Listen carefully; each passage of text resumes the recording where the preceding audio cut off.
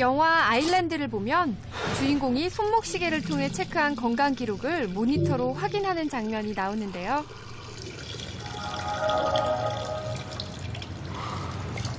영화 속에서만 가능했던 일이 이제 현실이 됐습니다.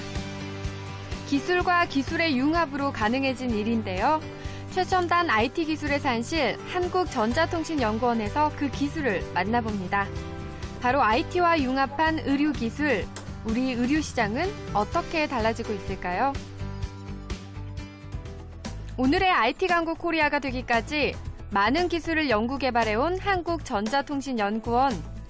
그 중에서도 바이오 헬스 IT 융합 연구부에서는 양질의 디지털 의료 서비스를 위해 IT와 의료 분야의 융합을 연구하고 있습니다.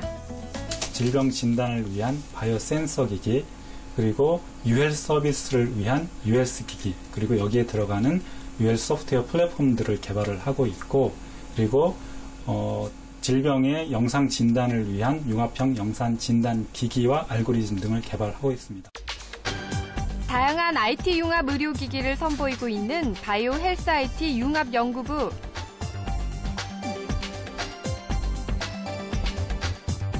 이것은 바이오 패치라고 불리는 제품인데요. 집에서도 간단하게 심전도를 체크해 볼 수 있는 의료기기입니다. 우리 심장이 뛰게 될 때는 어, 심장에서 심전도라는 게 발생하는데요. 그 심전도라는 것을 여러 개의 전극을 통해서 어, 측정을 함으로써 심전도가 어떻게 되는지, 심박수가 얼마나 되는지, 또 그 심전도를 분석해서 부정맥이 어떤 부정맥이 있는지 등을 파악할 수 있습니다.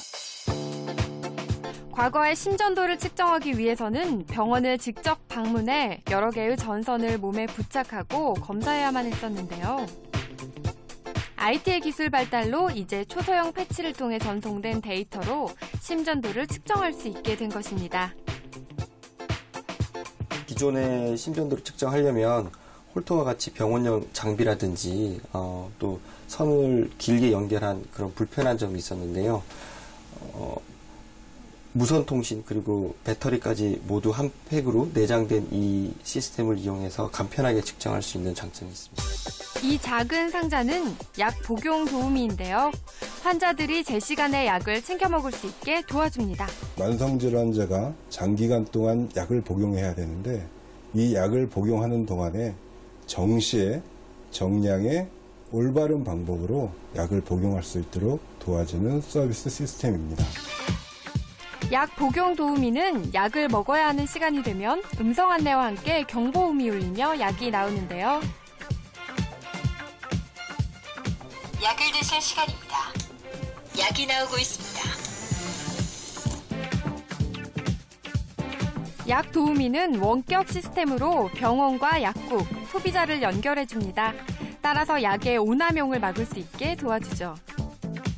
평범해 보이는 이 운동화 속에는 아주 특별한 비밀이 숨겨져 있다는데요. 바로 비밀의 열쇠는 작은 센서입니다. 보행 패턴 분석을 통해서 어, 건강 보행이라고 알려진 11자 보행을 가능하도록 도와주는 장비라고 보시면 됩니다. 센서를 통해 측정된 데이터가 시계로 전송되고요. 시계 속 데이터를 PC로 분석해 보행 패턴이나 칼로리 소모량을 파악할 수 있습니다.